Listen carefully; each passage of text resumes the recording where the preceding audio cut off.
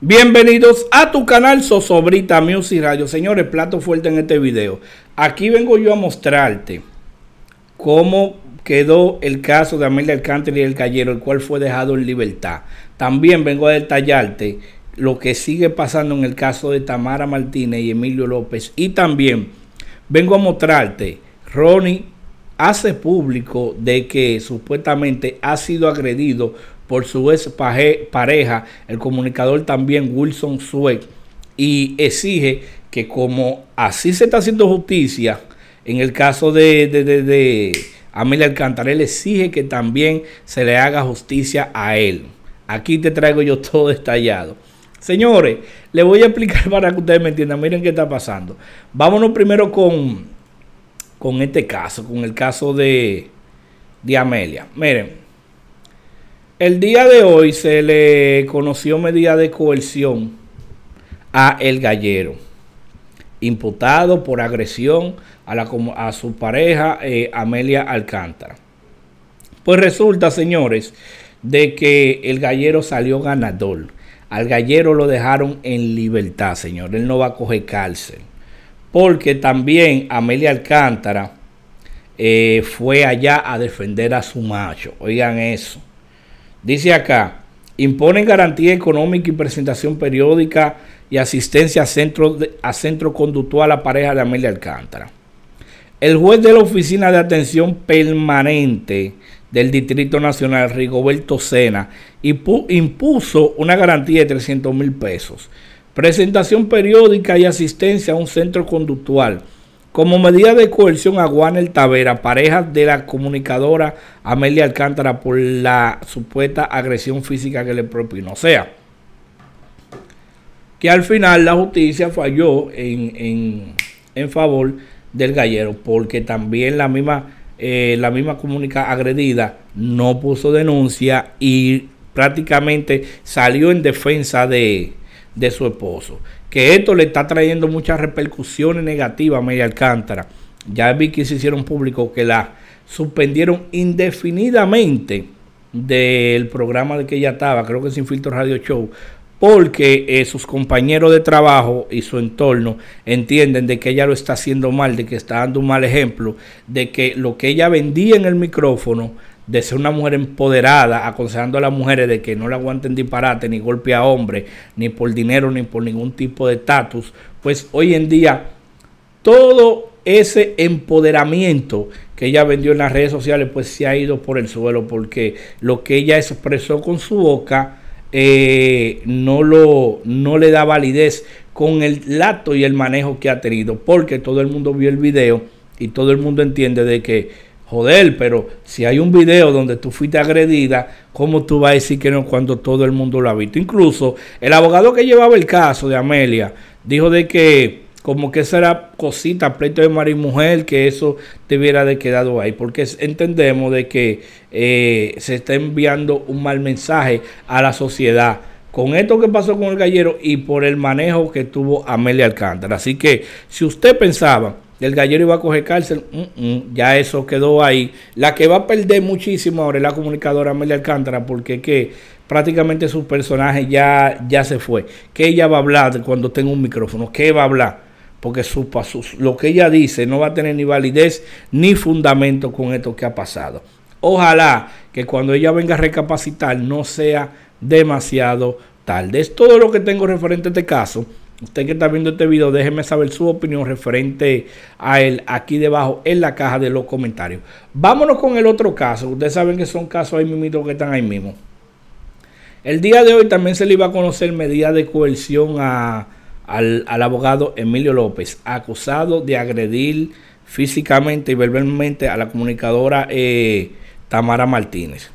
La madre de Tamara ha dado varias entrevistas, donde en esa entrevista ella ha revelado, según ella, de que Emilio es un monstruo, de que maltrataba muchísimo a su hija, que en muchas ocasiones intentó matarle y que también maltrata a los hijos de ambos. O sea, dice la madre que lo que Emilio vende en las redes no es lo que es en casa, que es muy diferente. Y fue la misma madre de Tamara que puso la denuncia porque ya ella entiende de que si no hace algo, él va a terminar matando a su hija. Que incluso ella contó una historia de algo que pasó recientemente entre ellos, donde la comunicadora Tamara Martínez, según lo que expresó su madre, estaba siendo ahorcada en la cama por, por él y para ella poder salvarse, porque si no hubiese estado muerta, ella tuvo que darle una pata entre los testículos a él para que él pudiera pues eh, soltarla, según expresó la madre. O sea, según lo que la madre de Tamara expresó, este tigre es un psicópata, como ella misma dice. Eh, vemos que lo que está pasando en ese caso, dice, aplazan para próximo martes conocimiento de medida de coerción contra Emilio López. Dice aquí. El juez de la Oficina de Atención Permanente del Distrito Nacional, Rigoberto Sena, aplazó para el martes para el próximo martes conocimiento de la solicitud de imposición de medidas de coerción que hace el Ministerio Público contra el abogado Emilio López, investigado por supuestamente agredir físicamente y psicológicamente a la comunicadora Tamara Martínez. La vista fue puesta a los fines de que la defensa pueda recabar los presupuestos de arraigo del imputado que se presente la víctima ante el tribunal y la señora Cesarina Piña, madre de la comunicadora, quien presentó la denuncia a las autoridades. O sea, que vamos a ver en qué va a pasar este, en qué va a quedar este caso, pero este caso va a ser un poco diferente porque aquí sí hay personas que están culpando, no como el caso de Amelia, que Amelia decidió que dejar la cosa así y decidió salir en defensa de su pareja, aquí no. Vamos a ver en qué para este caso, porque también Emilio López dice que todo esto es mentira, de que es una trama que le han armado para, para, acabar con él, para hacerle daño. Hay que esperar entonces que ya sea la justicia que determine en el transcurso de los próximos días si él de verdad es culpable o si no es culpable. Usted que está viendo este video, déjeme saber su opinión referente a este tema aquí debajo en la caja de los comentarios. Vámonos con este caso que yo me reí pila, señores, con este caso. Yo me reí y le voy a explicar ahora por qué. Miren, ustedes saben que Ronnie Jiménez, creo que así que se llama, eh, un comunicador gay abiertamente, cosa que se respeta, respetamos a todos los gays. Bendiciones para, para, para ellos, cada cual en su mundo. Yo sé lo que digo, el respeto al derecho ajeno es la paz. Pues él tenía una relación con Wilson Sue, porque yo desconocía que también Wilson era de esa rama. Yo me vine enterando ahora realmente, porque yo no hay mucho seguimiento a, a, este tipo de personas. Pero me llamó la atención compartiendo con ustedes, lo compartí en el portal Sociología Mucho Music Real. Y créanme, señores, las reacciones del público fue increíble el 90% de lo que se ríe con este caso, porque Ronnie está exigiendo públicamente de que se haga justicia, de que él supuestamente ha sido abusado física y verbalmente por Winston Sue y que las autoridades no hacen nada en el caso del dique porque eres gay. Él exige de que haya igualdad, de que así como se está haciendo un ejemplo en el caso de de, de, Amelia Alcántara, cosa que nos hizo ejemplo. Así él exige también que se haga eh, en su caso. Miren el video, señor, para que ustedes se curren. Miren eso. Escuchen las declaraciones de ese pana. Hago este video porque yo entiendo que la ley debe ser igual de justa para todos. Yo en mi momento revelé en una entrevista que se me realizó en Alofoque Radio que fui víctima de abuso de parte de mi expareja, el señor Wilson Sweat. Y el Ministerio Público, ni Santiago, ni nadie tomó cartas en el asunto. ¿Por qué? Porque se trataba de homosexuales. ¿Por qué no hicieron nada? Entonces Amelia eh, con el pobre gallero quieren tomar ejemplo para, o sea, quieren tomar el caso para dar ejemplo. ¿Dónde está la igualdad en este país? A diario, muchos homosexuales son víctimas de abuso y no tienen voz porque ustedes tampoco ponen ejemplo. Saludos mi gente, buenas noches. Hago este video porque yo entiendo con eso. Entonces, ¿por qué no, no detuvieron a Wilson en ese momento? Cuando yo revelé en esa entrevista lo que pasó. ¿Dónde estuvo el ministerio? ¿Dónde estuvo todo? No entiendo.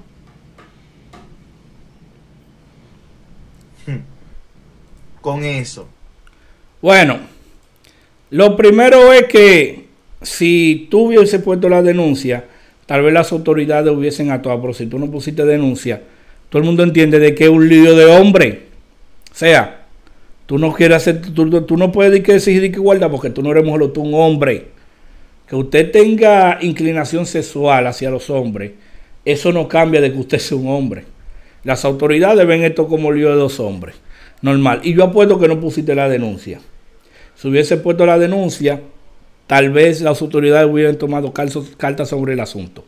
Wilson Sue, pues, eh, dejó claro como que esto era mentira y de que a él le quieren hacer daño. daño. Dice él, estoy siendo víctima de extorsión por parte de mi peluche, lo más hermoso que tiene República Dominicana, lo más sexy, el más deseado por todo el mundo y querido en los medios, Mr. Chi. Exijo que la justicia actúe, esto no va, esto no se va a quedar así. O sea, según eh, Wilson, la cosa no es así como dice. Luego de eso, vemos de que Ronnie publicó algo donde él dice que, teme por su vida, señores.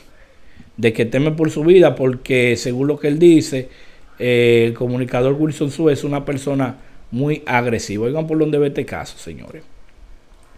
Dice acá, déjame ver lo que dice. A buscarlo aquí. Dice acá, ok. Temo por mi vida, dice, dice Ronnie Mejía. Ronnie Jiménez, perdón. Temo por mi vida y hago responsable de todo lo que me pase al señor Wilson Tineo Sue, porque es una persona sumamente violenta. Miren lo que acaba de hacer este señor simplemente porque dije la verdad. Bueno, luego de eso, eh, Wilson Sue, Wilson Sue lo que hizo fue que publicó publicó algo el día de hoy donde se ve que está en la policía. Parece que está poniendo una denuncia en contra de, de Ronnie. Dijo, deja ver si la CONE funciona. O sea, él cree, él siente de que lo están, de que según él, que Ronnie lo está chantajeando. Bueno, vamos a ver en qué para este caso, pero de verdad que es una cura. Una cura. O sea, yo entiendo de que debe haber igualdad de personas. Si usted va y pone la denuncia, de que está pasando, está haciendo ellos deben de ponerle asunto, no importa que sea hombre. Pero no quiera vender y que, que porque eh, eh, eh que, que, tienen que haber igualdad y que, que así las autoridades deben tomar cartas sobre el asunto porque tú dijiste que tu pareja te dio sin tú poner una denuncia. Al final el hijo de dos hombres. Usted tiene dos buenos nogres y dos buenos brazazos que usted se puede defender. Es mi punto de vista en este caso. Así que vamos a ver en qué para esto. Mientras tanto, tú que estás viendo este video, déjame saber tu opinión aquí debajo en la caja de los comentarios. Recuerda suscribirte y activar la campanita de notificaciones. Y recuerda que papá Dios te bendiga en grande.